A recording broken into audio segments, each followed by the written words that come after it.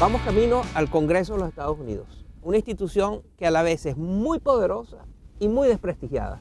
Las encuestas indican que los ciudadanos de los Estados Unidos tienen pésima opinión de lo que pasa en ese edificio. Y eso es correcto como pasa en muchos congresos del mundo, que ese cuerpo colegiado no satisface las demandas de todos los ciudadanos en cuanto al deseo de resolver problemas. Pero es paradójico porque los congresistas que son reelectos cada vez, son reelectos porque en su comunidad les gusta lo que ellos hacen. Pero también porque tienen ventajas que hacen imposible que competidores puedan ganarles. O sea, tienen todo tipo de ventajas que hacen la competencia muy desigual. Eso es cierto en, en, el Congreso de los Estados Unidos, en especial en la Cámara de Representantes, donde hay distritos que se han diseñado de tal forma que es muy difícil que haya competencia de uno o de otro partido.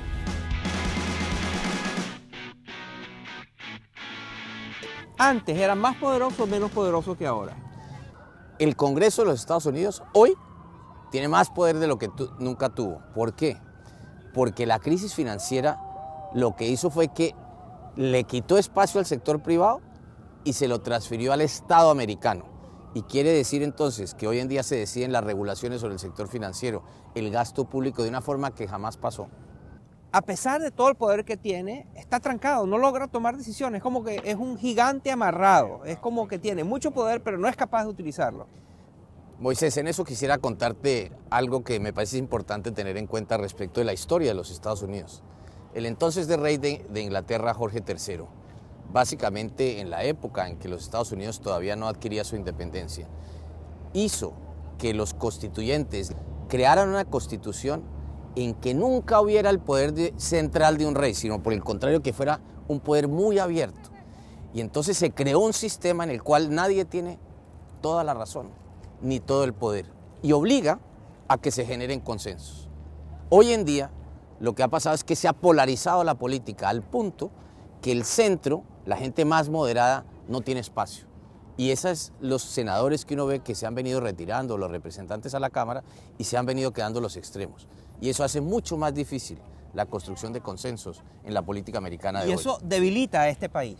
Yo creo que sin duda lo debilita, porque el, gran contraste, por ejemplo, en la América Latina de hoy, que no tiene crisis financieras, es que los países están haciendo reformas estructurales muy importantes. Le estamos dando ejemplo a los países desarrollados que ni siquiera se pueden poner de acuerdo en balancear un presupuesto.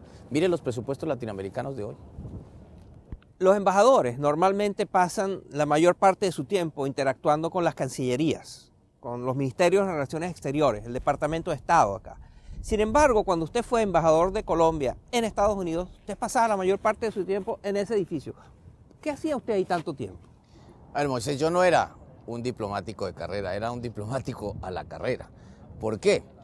Una vez tuviera un consenso, digamos, la administración del entonces presidente Clinton y después del presidente Bush de apoyar a Colombia, pues todas las decisiones importantes de cómo materializar ese apoyo estaban aquí en el Congreso.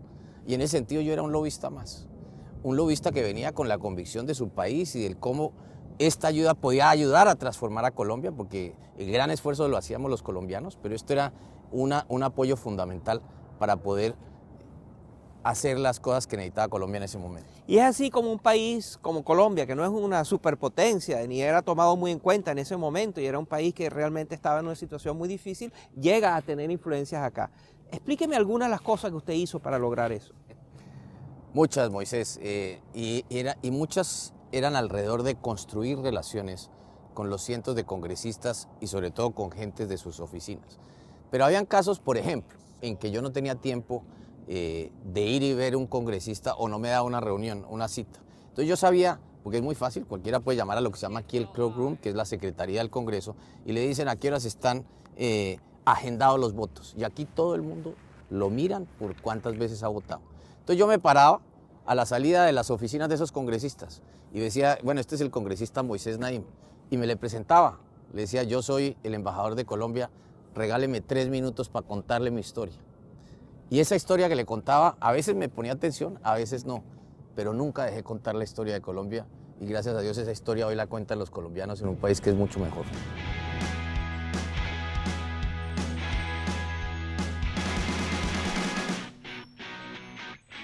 el Banco Mundial y el Fondo Monetario Internacional, dos centros de poder importantísimos no solo en Washington, sino en el mundo, a nivel mundial, y tienen muy mala fama. ¿Por qué? Parte de esa fama se la ganaron, y se la ganaron con equivocaciones que cometieron en el pasado. Pero también son un gran chivo expiatorio. Es más fácil para un gobierno populista decir que la culpa es del Fondo Monetario y no de su gobierno. Deme algunos ejemplos de errores que hayan cometido. Bueno, lo, más importante es que las propias instituciones han hecho informes y evaluaciones a donde ellos mismos eh, apuntan al hecho de que se equivocaron, por ejemplo, en la crisis asiática eh, o, por ejemplo, en algunos de los países latinoamericanos. Y el rol del Fondo Monetario hoy en día en Europa también es muy controversial por el tema de la austeridad, que les está imponiendo una austeridad muy feroz a los países que están en crisis en Europa. Bueno, yo creo que ese es el gran debate justamente. ¿Cuánto se necesita de austeridad? y cuánto se necesita que los gobiernos puedan hacer lo que se llaman políticas contracíclicas. Lo que quiere decir es que hay que hacer más gasto público. Si estas dos instituciones no existieran, ¿el mundo estaría mejor o peor? Yo creo que hoy en día cumplen un rol muy, muy importante.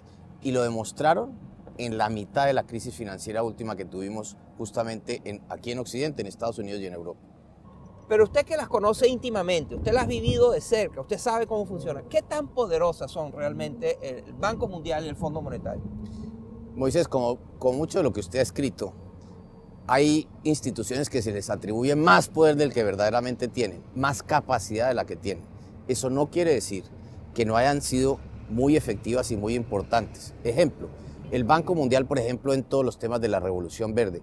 Y hay cosas como cambio climático, por ejemplo, que hoy en día es el gran tema de frontera en el cual todas estas instituciones estamos trabajando. Y la suya también, el Banco Interamericano también está eh, en, el tema de cambio climático, el Fondo Monetario, el Banco Mundial. ¿Qué están haciendo? En el BID, por ejemplo, cerca del 35% de nuestra actividad de crédito hoy la destinamos, por ejemplo, a temas de sostenibilidad. ¿Qué quiere decir con eso? A financiar proyectos de energías renovables, es decir, las que no usan hidrocarburos, carbón, o que usen eh, diésel o cosas de ese estilo. Eh, de otro lado, todos los temas de eficiencia energética, cómo hacen los países para reducir sus emisiones. Y en eso, por ejemplo, el ejemplo de Brasil es impresionante. Buena parte de las emisiones que se generan en América Latina vienen del trabajo en la tierra y los gases que genera, digamos, eh, la producción agrícola. Y ahí Brasil ha hecho un ejemplo para el mundo en su reducción de emisiones. Otra de las actividades de los multilaterales, del Banco Mundial y del BID, tiene que ver con las ciudades. ¿Qué pasa con las ciudades en América Latina? Moisés, yo creo que uno de los fenómenos que los latinoamericanos nos damos cuenta es que hoy en día, en el mundo emergente, somos la región más urbanizada del mundo. Cerca del 75% de la población latinoamericana vive en ciudades. Pero más importante, en los próximos 20 años habrán ciudades que se van a doblar de tamaño, no las grandes, sino aquellas pequeñas de 1 a 2 millones de habitantes. Y ese, si se planea bien esas ciudades en el sistema de transporte masivo, en la manera como se construyen los edificios, en la forma como se construyen las vías, hay una gran posibilidad de hacer esas ciudades más amables, pero sobre todo menos generadoras de gases de invernadero. Más adelante. Ese edificio que está ahí es el Banco Interamericano de Desarrollo. Usted es el presidente de eso. ¿Qué hacen en todas esas oficinas todo el día? Es una institución que no es un banco convencional.